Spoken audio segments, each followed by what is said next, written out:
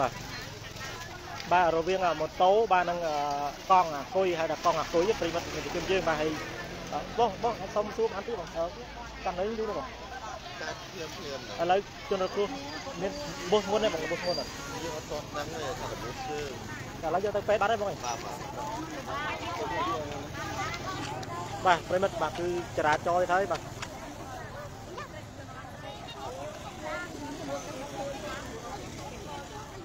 បាទគឺមកករណីទៀតហើយប្រិមិត្តទស្សនិកជនយើងបាទគឺករណីចរាចរណ៍បាទរវាងម៉ូតូនិងកង់អាគុយប្រិមិត្តទស្សនិកជនយើងបាទមកដាក់កំដឹងមកនេះនេះរួមបាទឥឡូវគាត់កំតែធ្វើការលើកម៉ូតូឬមួយក៏បាញ់ថ្នាំមិនដឹងថាយ៉ាងម៉េចទេបាទហើយរវាងកង់អាគុយនិងម៉ូតូម៉ា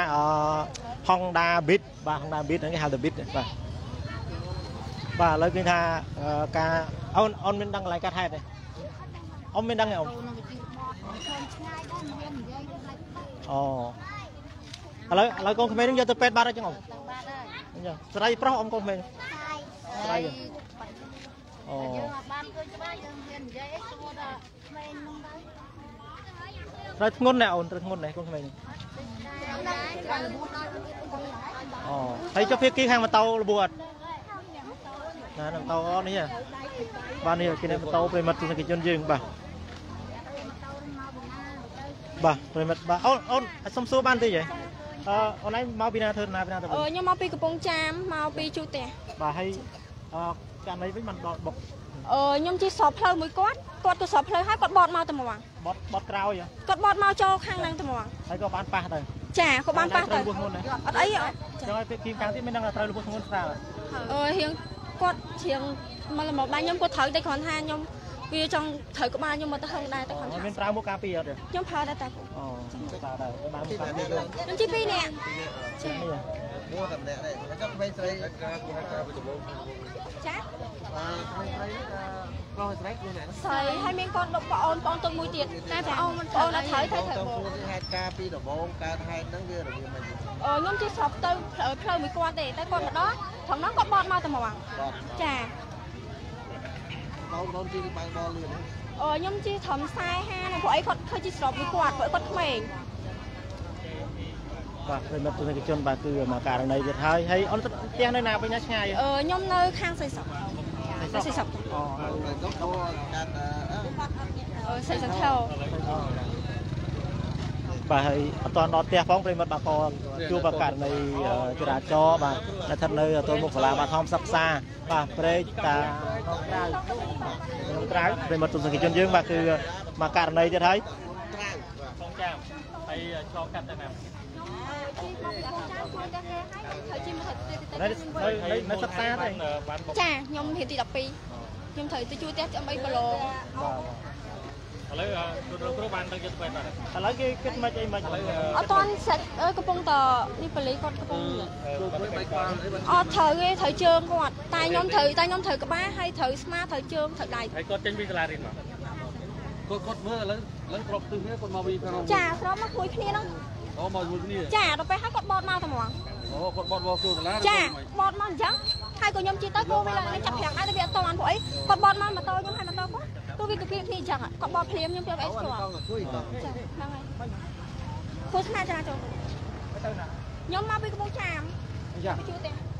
កវិញចាមកចាបាទប្រិមិត្តឃើញថាម៉ូតូអាគុយបាទប្រិមិត្តបាទម៉ូតូអាគុយបាទឃើញថាខូចយ៉ាងដំណំដែរបាទហើយម៉ូតូក៏มันមានអ្នកខូចខាតអីប្រហែលដែរដោយសារតែការលើកឡើងរបស់ ប្អូនស្រីអំបែម៉េចគាត់ថាអាកោអាតោអាកោអគុយនេះគឺបត់នេះខ្ញុំធ្វើការលើកឡើងតាមគាត់និយាយទៅណាប្រិមត្តទូតជនយើងបាទឥឡូវឃើញថាសមត្ថកិច្ចគាត់កំពុងតែធ្វើការបាទយកម៉ូតូចេញហើយគាត់នៅជាមួយអីនេះនេះនៅចំណុចឃុំព្រែកតាណងបាទចើអត់តបាញ់ឆ្នាំនេះទីនេះទៅទៅហាគាត់ឈាមគាត់ឈាមបាទគឺថាមានឈាមច្រើនបាទគេថាប្រិមិត្តបាទគេថាមាន ឈាមប្រឡាក់នៅលើផ្លូវដល់ពេលអញ្ចឹងយើងមិនអាចបញ្ចាំងឲ្យឃើញបានទេដោយសារតែបំរាមក្រុមហ៊ុន Facebook គាត់តែងតែបាទបំរាមភូមិព្រែកតនងបាទស្រុកកោះសុទិនខេត្តកំពង់ចាម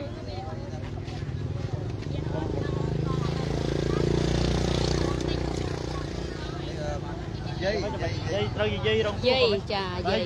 គាត់ត្រូវធ្ងន់ណាយាយត្រូវជើងត្រូវជើងខ្លួនដល់ឆ្អឹងឥឡូវយកទៅពេទ្យឲ្យថតសិនព្រោះគេអ្នកលៀងរបួសហ្នឹងគេថាខ្លាចបាក់បាក់កជើងគាត់ប្រហែលអាយុប៉ុន្មានហើយបើ9ឆ្នាំ6ឆ្នាំ9 9អូ9ឆ្នាំកង់អគុយវាមិនដែលលឿនដូចម៉ូតូទេយឺតយឺតណាកុំដល់យកការបត់ទៅតាមនិយាយបត់បត់ដឹងខ្ញុំមកអត់បានធ្វើដែរ 9ឆ្នាំ9ឆ្នាំឥឡូវយកទៅណាហើយយកទៅពេទ្យហើយយកទៅពេទ្យបាត់ហើយចាឬថាមាន2នាក់អីជីកអង្គុយពីរនាក់អូអាទូចនេះមួយទៀតអាទូចអត់ហើយចេញពីសាលារៀនឬមួយក៏មកពីមកយកចរូនមួយវារៀនព្រឹកសិស្សរៀនព្រឹកនេះចាហើយស្ថិតនៅក្នុងភូមិអីភូមិអីភូមិ3ភូមិចា3ភូមិ3សង្កាត់អាឃុំអីពេជ្រកនួងហ្នឹងព្រៃតលួងចាអូនេះឃុំឃុំព្រៃតលួងបាទអឺគ្រប់ស្ទិនខេត្តកំពង់ចាមព្រៃមិត្តជន ឥឡូវជនរងគ្រោះបានដឹកយកទៅពេទ្យហើយចាប៉ុន្តែមានអឺអឺមានអឺអឺដាច់កន្លែងណាខ្លះឬមួយមានត្រូវតែជើងខ្លាំងជាងគេដល់ត្រូវឆ្ជើអឹងងចាដល់ដល់ឆ្ឆ្អឹអឹងងចាដល់ឆ្អឹងពេទ្យមិនលៀងលៀងបាទប៉ុន្តែពេទ្យបញ្ជូនឲ្យទៅអញ្ចឹងមានន័យថាបុកដល់លៀនឆ្អឹងហើយចាដល់ឆ្អឹងហ្មងវាមិនលៀនដល់ឆ្អឹងក៏វាពេទ្យថាខ្លាចលោកបាក់កជើងអូចង់និយាយនេះមានន័យថាអាលាត់សាច់ដល់ឆ្អឹងចាដល់លាត់ឆ្អឹសាច់ងដល់ឆ្អឹងប៉ុន្តែអត់ទាន់ដឹងថាយ៉ាងម៉េចទេចាសិស្សចេញពីតារារៀនហើយចេញទេមកយក មកយកសិស្សចាមកយកសិស្សបាទយកប្រិមត្តចរូគូនលិមួយជនវាគឺគាត់កូនមួយទៅទៅជាមិនមកសុំសួរទៅយកតាករណីហ្នឹងយើងអាចសម្របសម្រួលគ្នាបានឬមួយក៏យ៉ាងអត់អីទេឲ្យមើលជើងទៅតាមហ្នឹងទៅចាស្រែកតាគេធ្វើយើងយើងគួរមិនចាវាមិនមែនថាយើងដែរចាដូចគ្នាទេទេប៉ុន្តែគាត់ថាធំធំជីក៏មិនណយដែរអត់ចូលលោកគ្រូលោកគ្រូមើលមែនលោកគ្រូមែនអឺឈប់ឈប់ឈប់ចូលលោកគ្រូគ្រូលោកគ្រូមែន លោកគ្រូឈិញដែរមកដល់គ្រូអញ្ចឹងមិញនៅនៅណានៅតែពេលពេលសិស្សចេញចូលរៀនតែមាន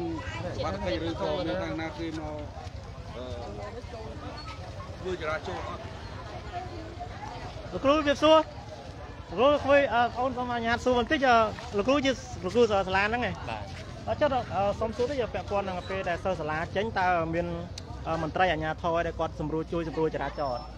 អឺនិយាយថាពេលដែលចេញគឺមានគ្រូគ្រូគាត់ជួយប៉ុន្តែករណីមិញនេះមិនមែនជាសិស្សសាលាដែលចេញពីរៀនទេមែនទេគឺសិស្សសាលារៀនពេលព្រឹកគាត់ជិះវាស្លាកថាគាត់ដើរលេងទេបាទបាទមិនមែនមកក្នុងម៉ោងគាត់រៀនសិក្សាទេអត់ទេមិនមែនម៉ោងម៉ោងចំម៉ោងតែចិត្តចេញពីរៀនគាត់ជិះមករបៀបថាគាត់រដង គាត់ថាតែងតែពេលទៅនេះគាត់ជិះដើរលេងអញ្ចឹងណាបាទមិនមែនសិស្សសាលាទេសិស្សតែសិស្សសាលានៅសាលាហ្នឹងតែគាត់រៀននៅនៅពេលព្រឹកបាទរៀនបាទវេរៀនពេលព្រឹកទេប៉ុន្តែពេលល្ងាចនេះគាត់គេថាជិះកង់មកកង់អង្គុយជិះដើរលេងទេបាទអូប៉ុន្តែមិនមែនគាត់មកយកអីទៅយកអ្នករៀនទេគាត់មកយកទៅលើតែអឺតាមប្រភពដែលបងប្អូនគាត់គាត់ថាមកយកបងប្អូនគាត់រៀននៅណាគាត់មានបងប្អូនរៀននៅហ្នឹងដែរបាទប៉ុន្តែគាត់មកនេះជាកង់អាគុយហ្នឹងបាទគឺគាត់មកយកប្អូន ហើយចែកដល់ហ្នឹងគោបានជាគ្នាជាមួយម៉ូតូហ្នឹងបាទខ្ញុំមកដឹងដែរព្រោះឲ្យខ្ញុំនៅចូលនៅនៅនៅខាងក្នុងព្រោះឲ្យម៉ោងគាត់ចេញតែគាត់ចេញទេបាទហើយបើគាត់ចូលមកហើយគាត់មិនបត់មកតាមនេះគាត់ទៅដល់នោះ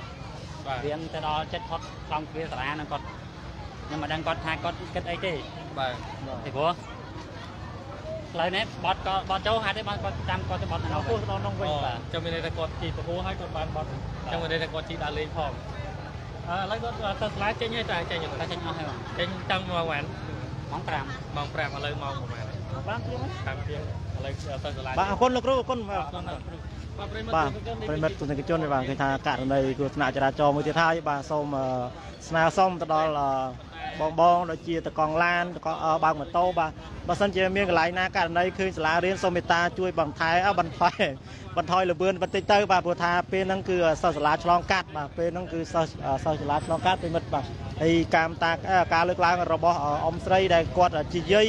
របស់ជនរងគ្រោះគឺគាត់បានលើកឡើងថាមិនអីទេបើសម្របសម្រួលគ្នាត្រូវមើលបាទគ្នាទៅសម្រោះសម្រួលគ្នាទៅគ្មានអ្នកណាគេចង់កើតហេតុទេបាទ គេគ្នាមើលថាតើគួរចេញថ្លៃស៊ីបាដែរយ៉ាងម៉េចអូនេះម៉ូតូดูបាយម៉ូតូបងសុំសួរតិចបានទេបងឥឡូវនេះម៉ូតូមកបាទមកហុកដែរលេខដាក់កិច្ចហ្នឹងបាទម៉ូតូអឺបាទភ្នំពេញបាទមួយ LE បាទអឺ9418ប្រិមិត្តបាទនេះគឺម៉ាក Honda Beat បាទ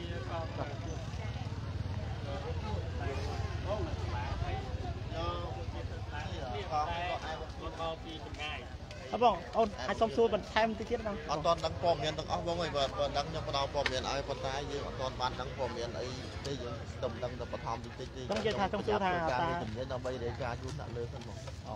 បាទឥឡូវនេះសមាជិកគាត់បានបាទប្រិមិត្តឥឡូវឃើញថាសមត្ថកិច្ចគាត់បានលើកឡើងថាគាត់កំពុងតែបាទសិក្សាបាទស្រាវជ្រាវទៅពាក់ព័ន្ធបញ្ហាករណីចរាចរណ៍នេះបាទ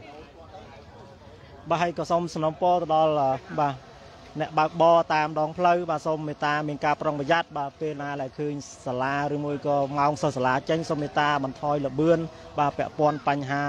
បាទយើងឃើញស្ដែងហើយបាទករណីចរាចរណ៍បាទមិនគិតថាសិស្សសាលាមិនគិតថាមនុស្សចាស់មនុស្សធំបាទឯអាដាមអស់លោកណាទេបាទទៅភេទគ្មានអ្នកណាចង់ជួបទេពាក់ព័ន្ធបញ្ហាចរាចរណ៍បាទប៉ុន្តែយើងគួរណាស់តែបង្កើនការប្រុងប្រយ័ត្នទាំងអស់គ្នាបាទ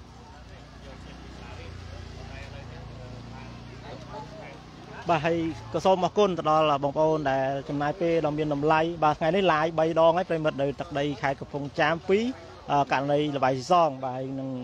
លើកទី2នេះគឺចរាចរណ៍បាទលើកទី1នៅគឺនៅខេត្តត្បូងឃ្មុំពាក់ព័ន្ធនឹងករណីចរាចរណ៍ដែរបាទហើយក៏សូមអរគុណរកការតាមដាន